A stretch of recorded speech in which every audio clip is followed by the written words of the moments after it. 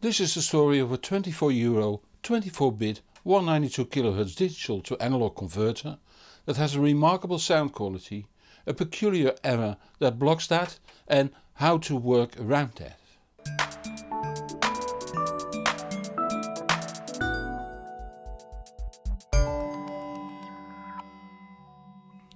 Two weeks ago I received a mail from my ex-colleague Peter van Willenswaard. A friend of his had a very good experience with a small 24 euro DAC, of course of Chinese origin. Peter has ordered an example and could confirm the inspiring sound quality. Only on CDs that hold very hot levels the sound quality was clearly lower. I've worked with Peter for 5 years and know how to judge his judgment. So I ordered one too at bol.com, the Dutch online shop according to the same model as Amazon. As soon as it arrived I connected it to my Setup 2 and the affordable Allo Nirvana audio grade power supply. I came to the same conclusion as Peter and his friend. Interesting. But let's first see where the DAC fits into your stereo.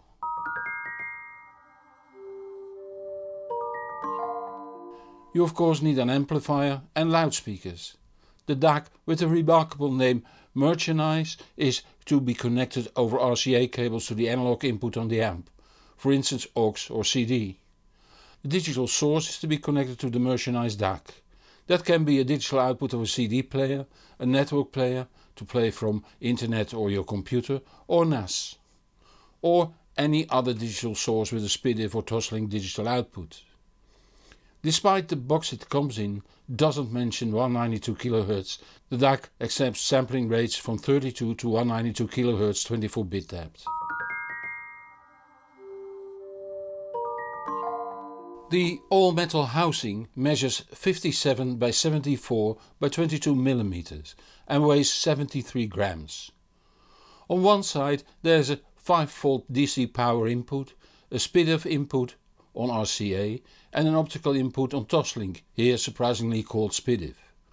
On the opposite side we find a 3.5mm headphone jack, a power LED and the left and right analog outputs on RCA. The power supply is of the BYOS type. Bring your own power supply.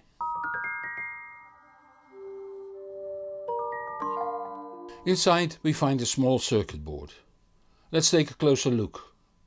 The incoming 5V DC is regulated down to 3.3 volts, so the internal circuit after this voltage regulator runs on 3.3 volts. Next to it the Ruimeng MS8416T digital interface receiver that translates the incoming AES3 signals from either RCA or Toslink to the I2S signal that is sent to the upsampling Cirrus Logic CS4344 DAC chip. So far so good. But when we look at the circuit board we see some nasties. Two of the four holes are very close to the edge of the board and the power LED needed to be twisted slightly to fit the hole in the housing.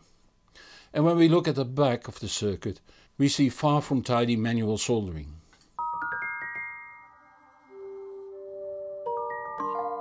I started in my setup 3 where the NAD C316BEE amplifier drives the more than short Avant 902 loudspeakers and the REL T5 subwoofer that is also connected to the loudspeaker terminals.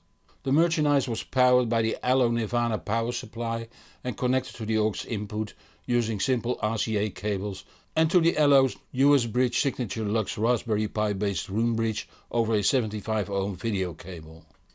The USBridge Signature Lux in turn is connected to the Aqvox AccuSwitch SE using normal Cat6 patch cable. It was immediately clear what Peter meant. The Merchannice has an elegance and friendliness you normally find in clearly more expensive products. At least most of the time. Some CDs, like those that are compressed to hell and back during mastering, sound extra nasty and on tracks that have fierce snare or glockenspiel these instruments got their transients killed. There is a fair stereo image, focusing is somewhat vague while sibilance is fairly controlled. Time to measure.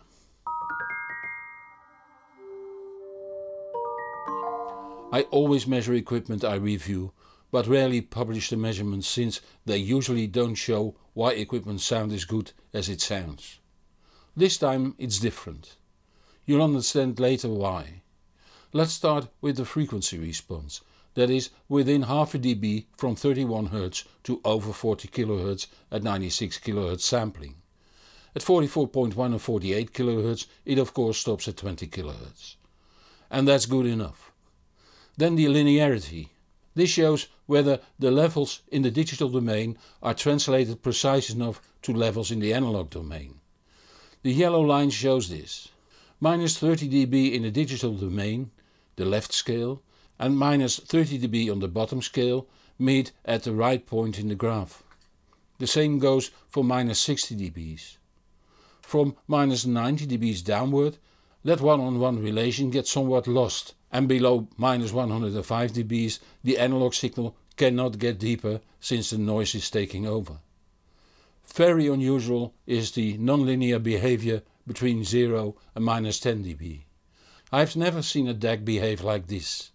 Minus 0.6 dB at 0 dB full scale. When we look at the total harmonic distortion and noise versus amplitude, we see that the distortion is just below minus 100 dBs for all levels below minus 20 dBs to get seriously higher from there upwards. This is exactly what I heard. Measurement and listening outcomes confirm each other. The THD plus N measurement shows a 1 kHz tone that is filtered out. It should show only noise like it does at higher frequencies. But here we see distortion products, tones, multiples of the 1 kHz stimulus that are added to the output due to distortion. Another way to measure distortion is intermodulation distortion. Here two tones are sent to the device under test. Distortion products show up as multiples of these tones, but also as difference between these tones and distortion products. The measurement here is not very brilliant, but above minus 10 dB the distortion goes sky high. Within a few days Peter discovered a serious problem in the design. Both the left and right analog output circuits contain a FET a field effect transistor that functions as a mute switch when an unstable situation or lack of digital signal occurs. Every DAC has a mute provision to kill the output when there might be a loud click or plop since that might damage the loudspeakers. But here, according to Peter, a FET is used that is designed for a voltage line of 5 volts while, as we have seen, the voltage line after the voltage regulation is 3.3 volts. That doesn't work and to get it working the designer or builder tried to solve that by connecting the gate and the source to earth. It seems that the FETs no longer work as mute switches. Unfortunately we forgot to test that before we desoldered the FETs by warming the middle pin and prying it loose using a miniature screwdriver. That can easily be done but if you want to attempt that, pause the video and read the warning on the left side of the screen. Peter sent me a photo of his oscilloscope showing one original and one modified output. Where the upper trace shows clipping in the negative part of the waveform, the lower trace shows the output of the modified channel and that's not clipped. I've modified both channels and measured it again.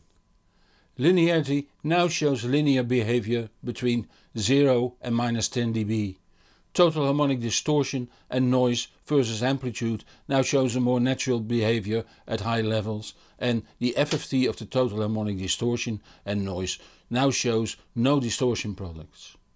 The intermodulation distortion, although not brilliant, shows a normal behavior at high levels.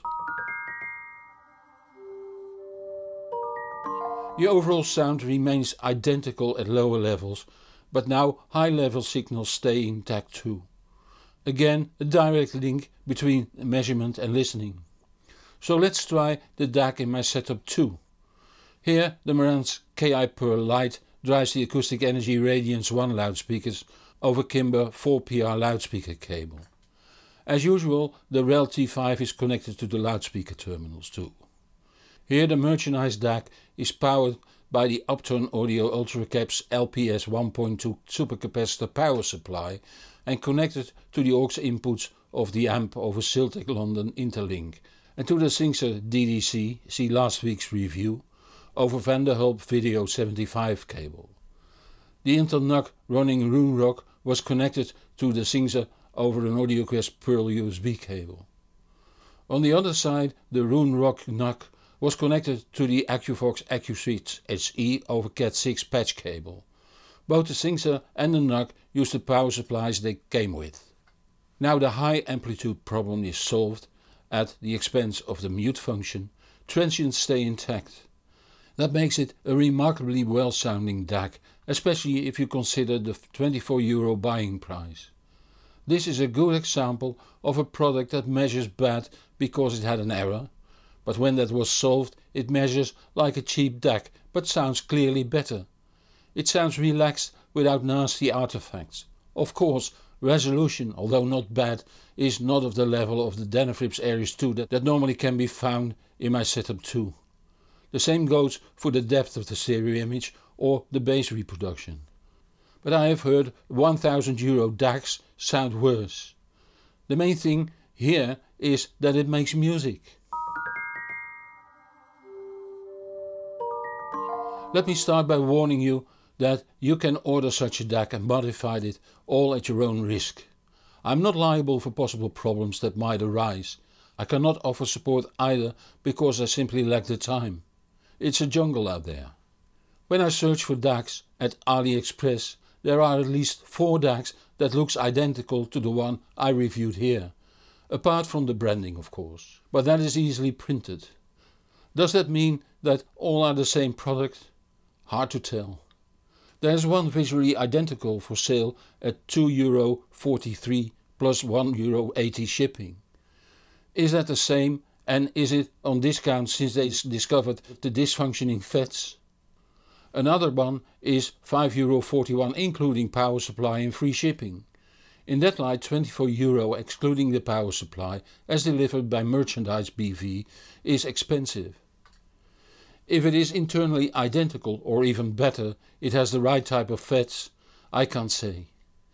Anyway you don't know what you're buying and how long it takes to get it delivered. At the other hand, at that money. And on that bombshell we come to the end of this video. There will be a new video next Friday at 5pm Central European Time. If you don't want to miss that, subscribe to this channel or follow me on the social media so you will be informed when new videos are out. Help me reach even more people by giving this video a thumb up or link to this video on the social media. It is much appreciated. Many thanks to those viewers that support this channel financially. It keeps me independent and lets me improve the channel further. If that makes you feel like supporting my work too, the links are in the comments below this video on YouTube.